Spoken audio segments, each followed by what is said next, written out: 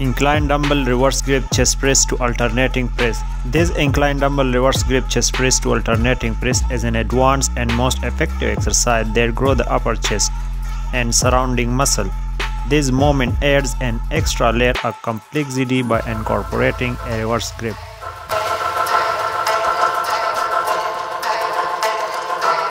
Seated weighted from low to high chest press. Bringing them from a low position near your chest to high position above your shoulder. This motion engages the upper chest and emphasizes the anterior deltoid.